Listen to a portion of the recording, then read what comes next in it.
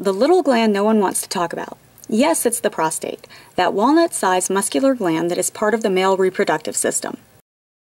It is estimated that more than 30 million men suffer from prostate conditions that can negatively affect their quality of life. Prostate problems are not unusual, as when men reach age 40 or so, it's common for the prostate to slowly begin to enlarge.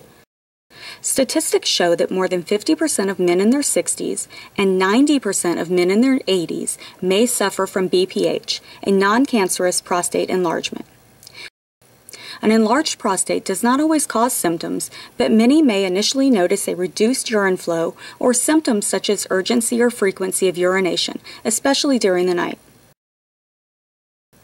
Over time, more troublesome or embarrassing symptoms, including impotence or urine leaking, may develop, and for some, serious complications such as urinary retention can result.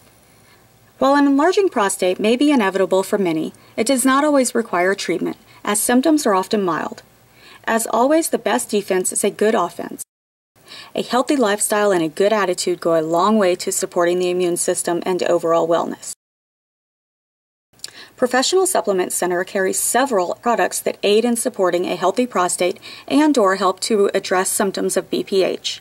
Should you have any questions about these or any other products, please call or email, and our knowledgeable staff will be happy to help.